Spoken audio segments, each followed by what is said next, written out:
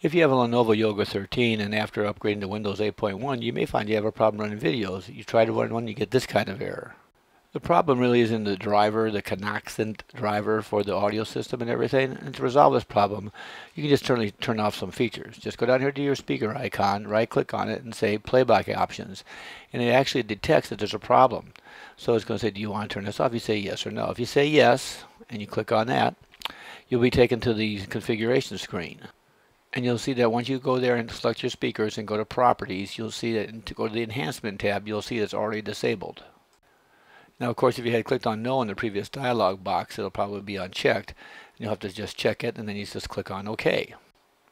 And of course to check all this to make sure it works all you got to do is go run that same video that you had tried to run before.